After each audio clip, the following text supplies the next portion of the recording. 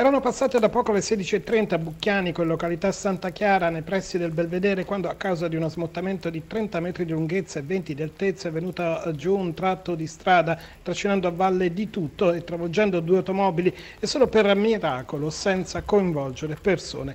Il tratto già interessato in passato da lavori di consolidamento è stato chiuso al traffico e una ventina di persone sono state evacuate. E nel maggio particolarmente piovoso come da anni non si ricorda ricordava ieri emergenza Fiumi con il superamento della soglia d'allarme sull'Osento, la Lento e il Pescara, mentre il Tavo, a causa dell'apertura per ragioni di sicurezza della diga di Penne, si è riversato sulle campagne di Loreto, Cappelle e Moscufo. Rischio esondazione anche per il Pescara con la chiusura già dal pomeriggio di ieri del lungo fiume dei Poeti.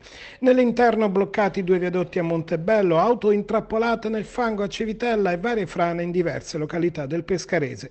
In provincia di Chieti Chieti, eh, detto di Bucchianico, chiuso il ponte sul fiume Lento sulla provinciale 9, Chieti, Filetto. Intanto allarme di Coldiretti l'Aquila per le piogge che stanno facendo marcire molte coltivazioni nel Fucino e le previsioni parlano di altre precipitazioni da qui fino alla fine di questo pazzo maggio.